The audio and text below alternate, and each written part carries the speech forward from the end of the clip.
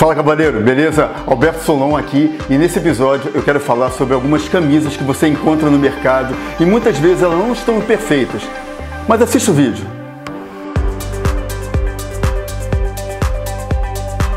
Seguinte, essa camisa aqui eu comprei há pouco tempo atrás, no, quando eu estava no shopping. Eu olhei para ela, eu achei linda. Ela tem uns detalhes diferentes, tem uma, parece que uma coisa meio um céu estrelado aqui. Deixa eu chegar para frente para mostrar. Não sei se aparece. Se não aparecer, eu vou colocar aqui em cima na tela para algum detalhe dela. Eu gamei nessa camisa. Ela é de malha, ela é bem leve, ela tem o colarinho bem molenga, não é aquele colarinho encorpado que eu gosto. Você não precisa estar sempre com uma camisa de colarinho encorpado. Às vezes você quer estar um pouco mais fresco também, está em pleno verão. Se quiser usar essa camisa com bermuda, fica ótima. Eu adorei essa camisa. Só que ela tem dois detalhes que eu não gostei nela, mas eu vou explicar por que, eu comprei mesmo assim.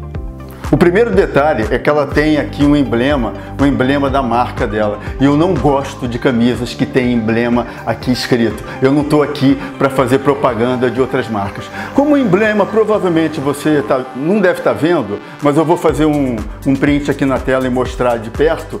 Eu vou tirar porque sorte minha, eu consigo é, tirar ele com cuidado, porque ele é costurado e ela vai ficar inteira sem emblema nenhum aqui. A única exceção que eu abro para grifes no peito é quando eu estou usando uma camisa polo e mesmo assim algumas grifes. Então esse aqui foi o primeiro problema, mas que dá para contornar. O segundo problema, que é um pouquinho mais complicado, é que a linha do ombro dessa camisa, quando eu comprei, ela está um pouquinho mais para fora do que o ideal. E se você já me segue nos meus canais, inclusive no Instagram, eu acabei de colocar hoje uma foto mostrando exatamente como deve ser a linha de ombro, você vai ver que essa camisa aqui, ela está um pouquinho mais para fora na linha de ombro e não dá para consertar uma camisa numa loja de ajustes quando ela está com uma linha de ombro um pouquinho mais para fora. Mas eu comprei esse mesmo, por quê?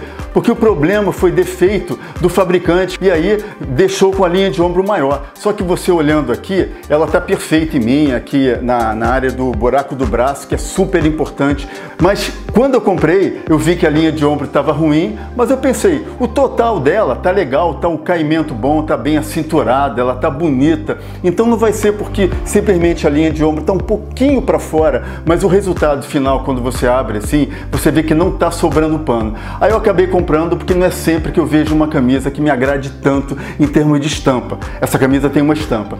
Então você tem que ser um pouquinho mais maleável quando você for fazer tua compra, sempre tentando ver a linha de ombro. Agora, se você acha uma camisa que está toda perfeita e por acaso a linha de ombro não está ideal, mas você acha que em termos de custo-benefício ficou boa, no resultado final, você compra essa camisa e usa. Claro que não pode ser uma camisa de um valor muito alto. Se for uma camisa que vai ser a tua melhor camisa, ela tem que estar tá toda perfeita no teu corpo. Então, se você acha uma camisa que está quase toda perfeita e tem um pequeno detalhe, outra coisa que também ela não tá boa, quando eu tiro a, a manga, cara, a manga vem aqui. Como eu vou usar essa camisa praticamente sempre? Ah, aqui. Como eu vou usar essa camisa praticamente sempre com ela com a manga dobrada, vou até dobrar de qualquer jeito aqui para terminar o vídeo, não vai me impedir de usá-la. Não foi uma camisa de valor alto, mas que está dando um resultado final que eu acho que ficou legal. Mas eu quero que você fique presente para a linha de ombros, que por acaso nessa daqui não dá para perceber muito, porque ela é uma camisa escura, mas lá no meu Instagram eu coloquei agora uma sequência de fotos em que eu mostro perfeitamente como deve ser a linha de ombros para a camisa.